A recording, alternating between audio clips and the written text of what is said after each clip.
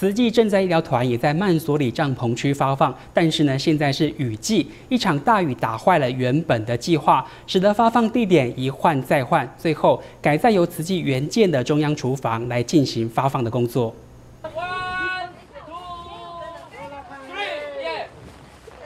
计划总是赶不上变化，众人抬起帐篷，要找寻还没有积水的空地。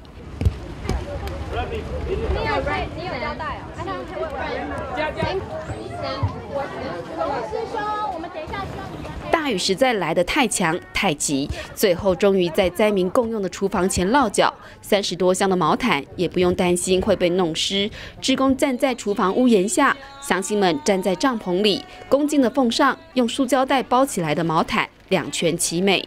想当初这个厨房还是慈济人来帮忙整修的，可以叫附近的居民去捡那个废弃的那个。砖块，然后我们就把这个厨房垫高。我们自己都没有使用到那么好，我们自己的呃职工呢是自己在旁边这边使用一个非常简陋的帐篷而已。坚持要给灾民最好的，想不到自己也能受惠。当时我们很无私的去替这些乡亲们去搭建这个嗯厨房，可是我们没有想到，我们今天也可以自己来使用到它。雨后路滑，老人家的安全，职工担心。尽管他的家只在上坡两分钟的路程。诶，我看这个斜坡蛮陡的，而且会滑。那呢，我一直牵着他手，那感觉我牵着他手，其实变成是我有一点依靠他的感觉。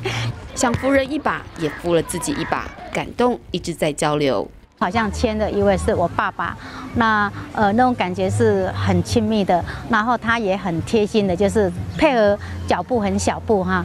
那我们在走路的时候那种默契，我觉得他很贴心。挥手告别这一段路，彼此都难忘。大爱新闻真善美之工朱英燕、林秋玉、周信宏一波报道。